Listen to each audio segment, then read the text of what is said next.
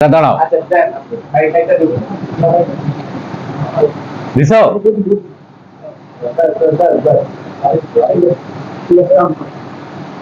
দিছ? এই যে আমাদের এই যে গাজী বাজান যে কথাগুলো বলল গাজী বাজানের কথাগুলো ছিল কি? যে মক্কার ঘরের উপরে কালো এক প্রকারের পাখি উড়ে আর ওই পাখিকে তারা স্থানীয় ভাষায় আবাবিল বলে। এটা কি? আমি ইতিপূর্বে বহুবার বলেছি, আজকেও আবার বলতে ভালো করে শোনেন। এই আবাবিল নিয়ে কোরআনে একটা সূরা আছে। এই সুরার নাম হলো সূরা ফিল। এই সূরা ফিলের সঙ্গে আমি লালন সাইজির একটা গানের মিল করে উপস্থাপন করি। লালন সাইজির গানটাই বলেছে যে উঠলি ঠেলে কোপের জ্বালায়, তাগা তাবিজ বাদলি গলায়। তাতে কি আর হবে ভালায় মস্তকের জল শুষ্ক হলে? গেড়ে গাঙ্গেতে খেয়া হাপুর হুপুর ডুব পাড়িলে, এবার মজা যাবে বোঝা কার্তিকের ওলানির কালে। এত বাংলা কথা। শুধু ওলানিটার ব্যাখ্যা করি, ওলানিটা হলো নেমে যাওয়া। যেমন আষাঢ় শ্রাবণ মাসে নদী সব ভরাট থাকে, জল টইটুম্বুর করে এরপরে কার্তিক অগ্রহণে জলটা নামে। তো লালন সাহেব যে জায়গায় বলছে যে, তুই বুঝবি কার্তিকের ওলানির কালে। মানে জল যখন নামবে এটা বুঝাইছে মানুষের যৌবন। মানুষের যৌবন তো এগারো থেকে উপর দিকে উঠা শুরু করে। তারপরে এগারো থেকে একুশ পর্যন্ত উঠে, এগারো থেকে বিশ, একুশ থেকে তিরিশ পর্যন্ত স্থির থাকে, আবার একত্রিশ থেকে চল্লিশ পর্যন্ত যৌবনের ভাতি আরম্ভ হয়। এই যৌবনের ভাটিকে লালন সাজি বলছে কার্তিকের ওলানি। তোর যৌবন যখন ভাটি ধরবে, তখন তুই বুঝবি। আর গাঙ্গে নতুন জল এলে তুই খেয়া খেয়া জাল মানে খেপলা জাল আর কি। না, খেয়া জাল। খেয়া জাল বলতে গেলে বাঁশ দিয়ে খোটা বোঝা যে জালটা নদীতে পাতে না, ওইটাকে বলে খেয়া জাল। এই যে এইটা, এইটার নাম হলো খেয়া জাল। ভালো করে লক্ষ্য করেন। এই খেয়া জাল পেতে মাছ ধরা আরম্ভ করে। তো লালন সাহেজি বলছে যে, তুই মানে ভাব অর্থটা আর কি। লালন সাহেজির ভাব অর্থটা ছিল যে, তুই নতুন বিবাহ করে নিয়ে আলি। নিয়ে এসেই তুই- যে ডুব পড়া শুরু করলি, তোর বয়স যখন বাটের দিকে যাবে, তখন তুই বুঝবি যে এটা ঠেলাটা কি। আমি এই কথাটা এই জন্য নিয়েছি যে, উঠলি ঠেলে কোপের জ্বালায় টাকা তাবিজ বাদলি গলায়, তাতে কি আর হবে বলায় মস্তকের জল শুষ্ক হলে? মস্তকের জল বলতে গেলে এখানে বোঝানো হয়েছে অরিজিনালি যদি আবিধানিক অর্থ নিই তাহলে মস্তিষ্ক মেরুজল, যেটাকে বলে সেরিব্রো স্পাইনাল ফ্লুইড এই মস্তিষ্ক মেরুজলকে মস্তকের জল বলা হয়। মস্তিষ্ক জল বা মেরুজল, এটা হলো আবিধানিক অর্থ। আর পারিভাষিক অর্থ হবে, তোর যখন জ্ঞানটা কমে যাবে, এটাই তোর মস্তকের জল শুষ্ক হওয়া। এটা হলো পারিভাষিক অর্থ। অথবা মস্তকের জল শুষ্ক হওয়া মানে বুদ্ধি কমে যাওয়া। এটাও হতে পারে। পারিভাষিক অর্থ। আবিধানিক অর্থ হলো মেরুজল যখন কমে যাবে, তখন তোর বুদ্ধি জ্ঞান কমতে থাকবে। মস্তিষ্ক মেরুজল যার কমবে, তার কিন্তু বুদ্ধি জ্ঞান আগের চেয়ে কমতে থাকবে। এবং ওই যে এক সাইড প্যারালাইসিস হয়, মস্তিষ্ক মেরুজল কমার কারণে যেই সাইডটা শুষ্ক হয়ে যায়, ওই সাইডটা প্যারালাইসিস হয়। বুঝাইছে? এটাও। আমাদের কথা হলো যে উঠলি ঠেলের কোপের কোপের জ্বালায় তাগা তাবিজ বাদলি গলায়। তাতে কি আর হবে বলায় মস্তকের জল শুষ্ক হলে। তাগা তাবিজের যে ব্যাখ্যাটা উনি দিছে, এই ব্যাখ্যাটা আমি বলছি যে তুমি আবাবিল পালো। এই এটার ব্যাখ্যা হলো যে তুই তোর ঘরের রমণীর কাছে গিয়ে মৈথুন খেলায় পারিস না। এই জন্য হাটে বাজারে কোন জায়গায় কবিরাজ, তাবিজ বেছে, কোন জায়গায় হকাররা মজমা দিছে, এগুলো তুই খুঁজোস। তারপরে হকারের কাছ থেকে তাবিজ, কবিরাজের কাছ থেকে তাবিজ নিয়ে মাজায়, গলায়, ডান হাতে বেঁধে বলছে যে আজকে যদি তুমি যাও, তাহলে আজকে যুদ্ধ করতে পারবে। বলে না অনেকে? এগুলা তুই নিয়ে আয়। টাকশালে গেলে তোর এগুলা কোনো কাজে আসবে না। ঠিক যদি মানে শুক্র নিয়ন্ত্রণ প্রশিক্ষণ না থাকে, এই তাগা তাবিজে তোর কোনো উপকার হবে না। এইটা হলো ওই বাণীর সংক্ষিপ্ত অর্থ। এইটা কেন আমি সুরা ফিলের সঙ্গে মিলাচ্ছি? সুরা ফিলটাও এই কথাই বলছে। ভালো করে শোনেন। আলাম তারা কাইফা ফালা রাব্বুকা বিয়া সাবিল ফিল আপনি কি দেখেন নাই আপনার প্রভু হস্তি বাহিনীর সঙ্গে কিরূপ আচরণ করেছিলেন? হস্তি বাহিনী, এরা তো বিশাল গল্প বানাইছে, বাদশাহ আব্রাহা নিয়ে। হস্তি বাহিনী হলো পুরুষ জাতি, আমি শরীয়ত এবং হাকিকত একসঙ্গে বলছি। পুরুষ জাতি পুরুষ জাতি হা, হাম্বি তুম্বি যতই করুক ট্রাকশালে গেলে সে যে কয়টা গোল দিতে পারে না, গোল খাইয়ে আসে, এটা যার যার বুকে হাত দিয়ে একটু পরীক্ষা নিরীক্ষা করেন। আমার ভিডিও যারা দেখছেন, আরও যারা দেখবেন, যার যার বুকে হাত দিয়ে দেখবেন হাম্বি তুম্বি যতই করেন ট্রাক সালে কার কতক্ষণ কি চাতুরি আছে, কার কতক্ষণ স্থায়িত্ব আছে, আপনি গোল খান না গোল দিয়ে আসেন, ভালো করে নিজেরাই বিবেচনা করেন। তো এইখানে বলছে যে, কত হস্তি বাহিনী ওই জায়গায় গিয়ে ধ্বংস হয়ে গেছে, পার হতে পারে নাই। তারপরে ওয়ার সালা তাদের কাছে পক্ষীর দল পাঠানো হয়েছে। এই পক্ষীর দল, পাখির দল, আবাবিলের বাংলা, পাখির দল, পক্ষীর দল, এটা তো কোনো নির্দিষ্ট একটা জাতীয় পাখি না। এটা কবুতর না, হামামা না, এটা গুগু না, এটা বাবুই না, এটা মানে কাঠঠোকরা না, এটা ফিঙ্গে না, শালিক না। শালিকের দল, এই কাঠঠোকরার দল, দলীয় ভাবে বোঝানো হয়েছে আবাবিল পাখির দল। এটা নির্দিষ্টভাবে একটা পাখি তো না কালো রঙের এই পাখিটা তো না। কি ইয়ে, কি এটা কি বললাম আমি? ওই না না সুরাফিল আলাম তারা কাইফা ফালা রাব্বুকা বিয়া সাবিল ফিল। ও এখানে আরেকটা জিনিস সারা বলছে আলামিয়া জাল কায়দাউম ফি তাদলিল। তাদের সকল প্রকার কৌশলকেই নস্বাত করা হয়েছে। এই কথার সঙ্গে লালন সাইজের ওই কথাটার মিল, যে তুই টাকা তাবিজ বাদলে লাভ হবে না। আর এখানে বলা হয়েছে, আলামিয়া জাল কায়দাউম ফি তাদলিল, তাদের সকল কৌশলই নস্বাত করা হয়। যখনই টাকশালে যায়, কে তাবিজ বানলো আর কে অন্য কোনো পদ্ধতি নিয়ে গেল, কাজে আসে না। একমাত্র গুরু শিক্ষা যাদের ভিতরে আছে, শুধু তারাই এই বৈতরণী পার হতে পারে। এছাড়া বৈতরণীতে নামলে সবারই কিন্তু নৌকা টলে, নৌকা ঘুরে। খুব সাবধান জায়গায়। এরপরে হ্যাঁ বলছে যে, ওয়ার সালা আলাইহিম তৈরে নাবাবিল তাদের কাছে পাখির দল পাঠানো হয়েছে। আর এই পাখির দল অত্যারমি হিম্বি হিজারাতে মিংসিজিল পাথর নিক্ষেপ করেছে তলদেশ থেকে। আমার দেশের এই মৌলবীরা, এই মূর্খ উন্মাদরা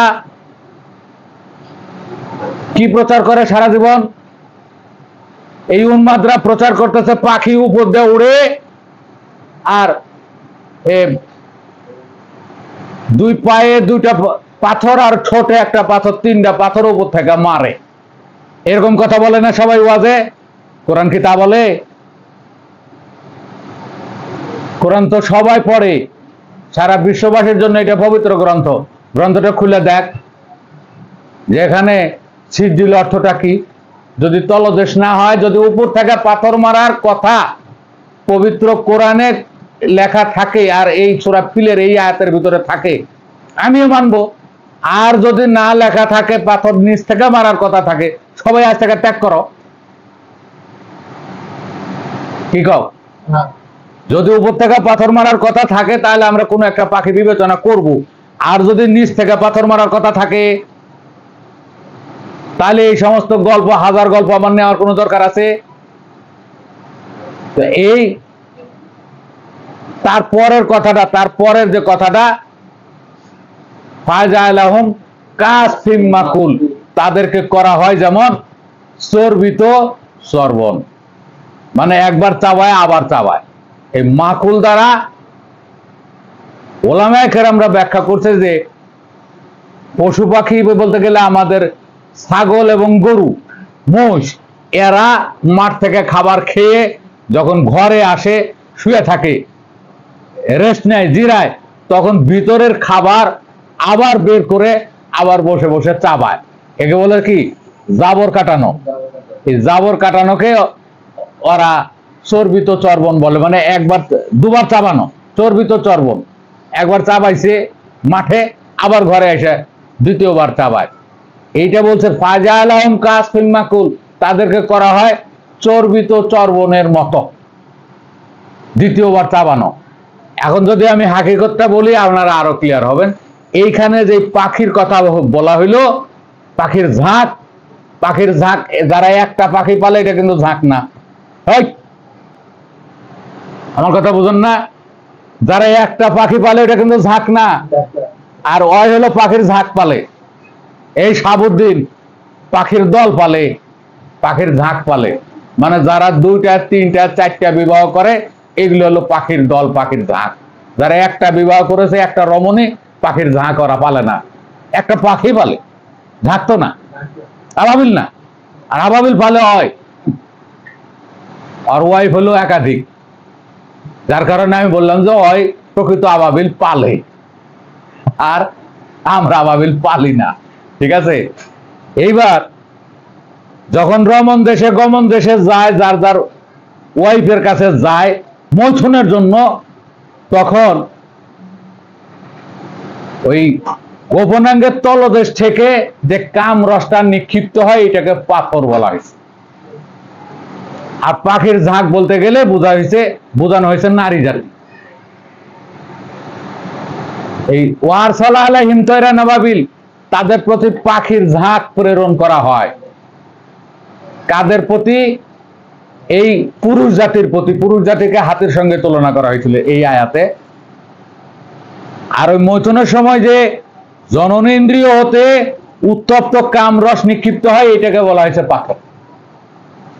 তার মেহিমবি হিজারাতে মিন সিজিল, পাথর মারা হয় তলদেশ থেকে। এইটা হলো আবাবিল জননাঙ্গটা। পাথর মারে নিচ থেকে এই পাথরটা হলো কামরস। কাসফিন মাকুল, তাদেরকে করা হয় চর্বিত সর্বনের মতো। যখনই স্পার্মপাস বা শুক্র স্খলন হয়, তখন যার যার মদনের অবস্থা দেখে প্রত্যেকটা মানুষ মনে করে যে ঠাকুর মনে হয় মারা গেছে, ঠাকুর আর বাঁচবে না, আর বাঁচার কোনো সম্ভাবনা নাই। তাকে এমনই চাবায়া কামড়ায়া তাকে যা করেছে, এটা বলার মতো না। এইটাকে বলা হয়েছে চর্বিত সর্বন মাকুল। তাকে চাবায়া কামড়ায়, ফাঁকি বানায় ছেড়ে দিছে। ঠাকুরের বাঁচার সম্ভাবনা নাই। এইটাকে বলা হয়েছে ফাজা আলাহম কাস্তিন মাকুল। তাদেরকে করা হয় যেমন চর্বিত চর্বিত চর্বণ। বুঝাইছি? তাহলে এই কথাটা বলা হলো কি সুরা ফিলের? লালন সাহেবের ওই বাণীটাই বলা হলো, মানুষের দাম্পত্য জীবনের কথা। এইটার ওপরে আপনি একটা আবাবিল পাখি বানাইলেন ওই জায়গায়। এইটার ওপরে ওইখানে একটা আর্টিফিশিয়াল ঘর বানালেন। ঘর বানায় এই ঘরটার নাম দিলেন কাবা বা মক্কা। মক্কা শব্দের অর্থ কি জানেন? মক্কা শব্দের অর্থ হলো চোষণকারী। হাড্ডি থেকে যে রস চুষা বের করে, এটার নাম হলো মক্কা। এই এই কাজটা কার? স্ত্রী গোপনাঙ্গের না ক্যামেরার সামনে কথা বলা এর চেয়ে বেশি কিন্তু বলা যাবে না।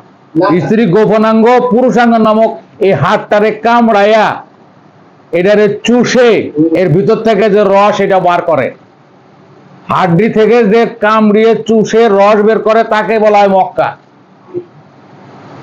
মক্কার আগের নামটা ছিল বাক্কা।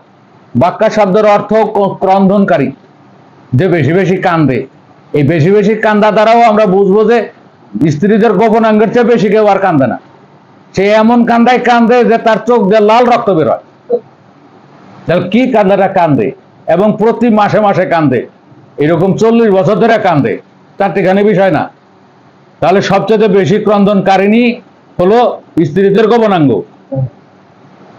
তাহলে এটি ছিল বাক্কা, মক্কার পূর্ব নাম। আর মক্কা শব্দের অর্থ হলো চোষণকারিণী যে হাড্ডি থেকে চুষের রস বের করে, মগজ বের করে, ঘিলু বের করে। হাড্ডির ভিতরে হিদরা থাকে না। এই হিদরা থেকে আমরা চুষে বের করি না।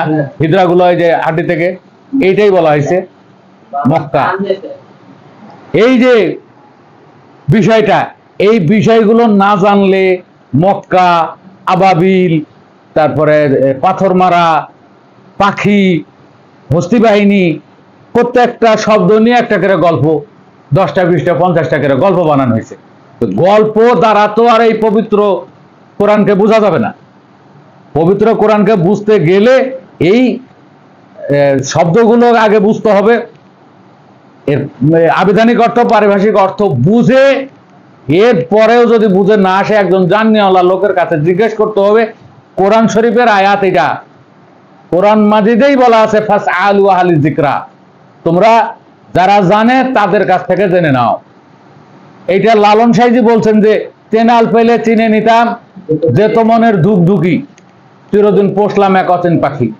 তা আপনি যদি কারও কাছে কোনোদিন জিজ্ঞাসা না করেন, মৌলবীদের কথার উপরে বিশ্বাস করে থাকেন, আর কি মোল্লা মুন্সিদের কথার উপরে সমাজে যা চলছে, এই সার্কাসগুলো যদি আপনি দেখেন আর শোনেন, তা আপনার কখনই জ্ঞান প্রসারিত হবে না।